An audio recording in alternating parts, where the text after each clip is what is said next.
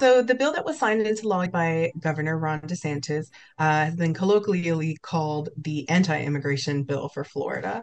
Um, and essentially, it passed several changes that will impact many immigrants in Florida and actually a lot of non immigrants as well. A lot of citizens and residents might also be impacted anyone who transports someone in their vehicle, for example. So if you have a family member who's out of status, a parent, let's say, and you are a US citizen and you transport this person to the supermarket to do groceries, that will actually now be criminalized as a felony in the state of Florida. Uber drivers, you know, taxi drivers, will they now be required to ask for status of their passengers?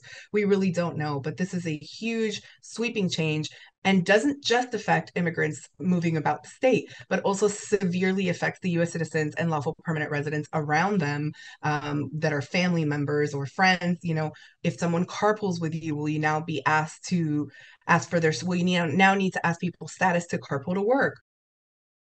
Will also be um, increasing the penalties against employers who um, hire undocumented immigrants.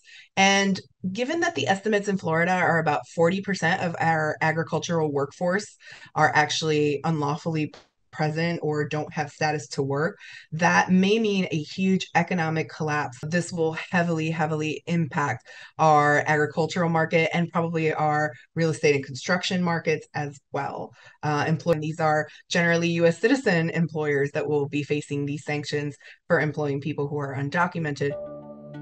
Uh, hospitals will now be required to ask patients whether they're US citizens or what their legal status is and hospitals will have to report this to the state. To me, that is the biggest uh, and scariest change I see in the law.